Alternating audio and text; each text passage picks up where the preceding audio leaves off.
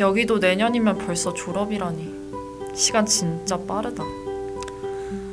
그나저나 전임 사역지를 잘 구해야 되는데 뭘 기준으로 해야 되지? 공부도 더 하고 싶은데 전임하면서 제대로 할 수 있으려나도 모르겠고. 난 좋은 사역자가 될 수 있겠지? 아니 사실 난 아직도 사역자라는 게 뭔지 잘 모르겠어. 사역자는 뭘까?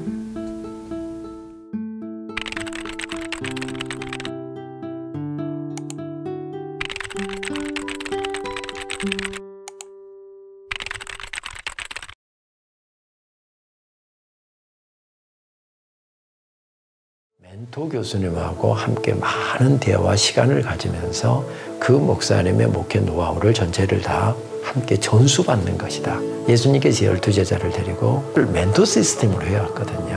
어, 바라기는 학생들 3년의 짧은 기간 동안 모든 것을 가르칠 수는 없지만 현장의 내용을 멘토 교수님에게 직접 배우는 이런 신학 교육이 되고 있는 것 같습니다.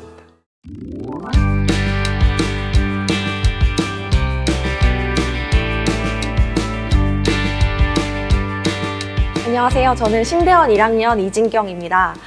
그 어느 곳에서도 들을 수 없는 정말 귀중한 강의들이 준비되어 있고 또 우리가 담임 목사님을 만나 뵙는 게 쉽지 않잖아요. 근데 그분들께 우리가 지도를 받을 수 있다는 게 정말 큰 장점인 것 같습니다.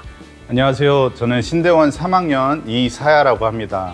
저는 제가 신대원에 와서 가장 값진 시간 중에 하나가 사역 멘토링 스쿨이었던 것 같아요. 그래서 여러분도 신대원 생활을 하시면서 값지고 귀한 시간을 만들고 싶다 하신다면 꼭 사역 멘토링 스쿨 6기에 신청하시면 좋을 것 같습니다.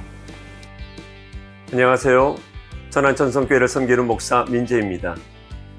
현장 목회에 대해서 진로에 대해서 고민하는 여러분, 사역 멘토링 스쿨 6기에 여러분들을 초대합니다. 함께 합시다.